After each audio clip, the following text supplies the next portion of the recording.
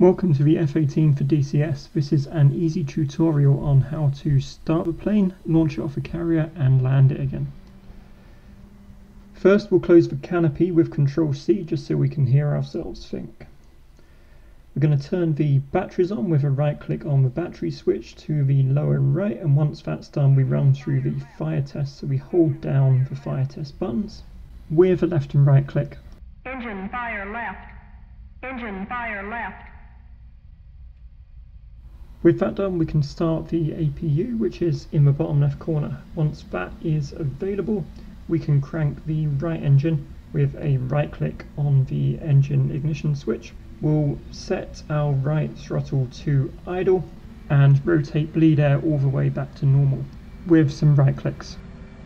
Roll left, roll left. Flight controls. Flight controls.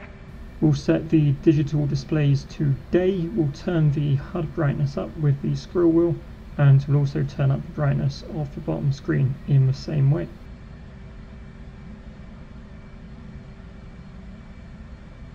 With that done we'll use the soft keys on the left digital display to go to the support menu. And on the support menu the flight control subscreen. So the crosses you'll see here are errors we need to clear away the master caution by clicking on it twice. The next step is to set the INS to carrier, so that will start aligning while we're doing some other stuff in the background. We're now going to crank the left engine by clicking left click on the engine start switch and once again move those throttles to idle for the left engine and wait for 60% thrust. This is when I spread the aircraft wings by right clicking on the wings switch.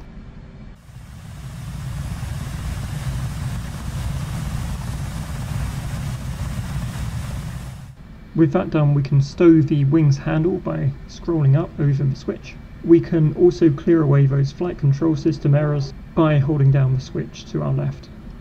As we scroll back up we can see the aileron and flap errors have cleared. We'll scroll down again, switch on the oxygen generator with a left click, and turn the radar switch to operational with a right click. We're now going to set the flaps to up slash auto with two right clicks on the flap switch. We'll head over to the built-in test screen and we're going to click the FCS soft key we're going to hold down the hotkey here which is Y but the physical switch is located to the right of the pilot seat if you want to hold that down instead so while holding that hotkey click the FCS soft key on the right digital display. This runs the control system self-test.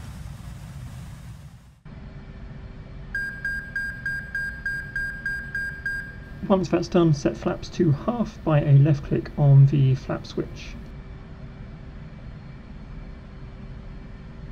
We'll now switch the left digital display over to checklist to get the aircraft weight. So if the weight is less than 44 tons, set the trim to 16. If it's 45 to 48, set trim 17. If it's 49 or above, set trim to 19 and use afterburner for takeoff. Trim is found in the flight control menu and is adjusted upwards by right control and period keys. You can see here we're setting our trim for takeoff to 16 because the aircraft is light. We'll now configure the displays for takeoff, so we want our left screen to be showing the HUD, and we want our right screen to be showing flight controls.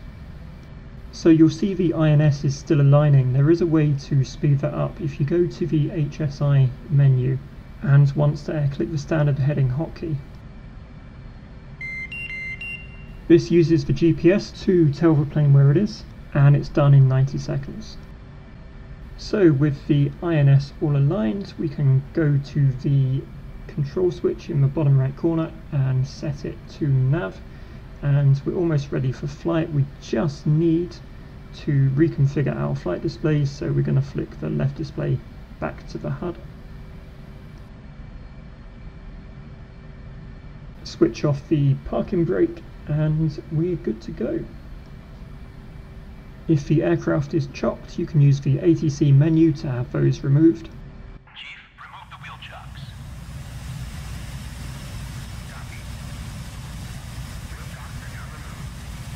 For For taxi, you'll want to remember holding the S hotkey increases the available angle for the nose well. Taxi as normal up to just behind the catapult that you'll be launching from.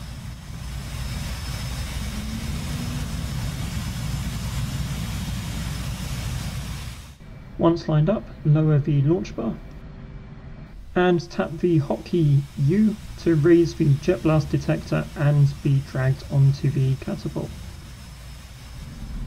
This is a good time to arm the ejector seat by left clicking on the ejector seat lever next to your seat.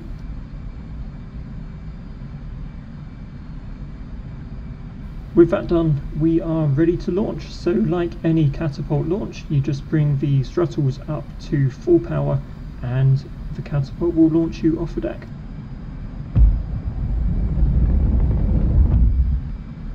As soon as you're in the air, set the flaps back to auto, there's an F hotkey for that, and raise the gear, again there's a G hotkey for that.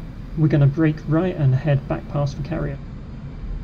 Once straight and level, we can use the TACAN system to locate the carrier for landing. So click the TACAN button on the control panel, clear the uh, current scratch pad, dial in the TACAN number of the carrier, so 74, then press enter double click the on switch and then click the TACAN button on the left digital display to display the TACAN data on your HUD. So the carrier's location is now displayed on your navigation display and the carrier's distance from you is now displayed on your HUD. You can use left click and right click on the course switch to match the course on your navigation display to the course of the runway you're heading for. So the carrier's runway is at 13 degrees, so we're going to set our course to that, and this will tell us which angle we need to be facing for our landing. So we turn back towards the carrier and we lower the landing hook, landing gear and full flaps. There are many ways to approach a carrier, some more complex than others, but for the initial approach I find the easiest way is just to line up my velocity vector so it's over the ship and then on final adjust to a meatball or visual approach. I try to hit a rough approach speed of 250 knots and then adjust that downwards as I get closer to the carrier for final. So now flying a purely visual approach onto the carrier, bringing speed down with speed brake and throttle. You can see my angle of attack is not on speed because I'm just flying completely by eye, but if you were flying proper case approaches onto a carrier, you'd want to get that nailed down.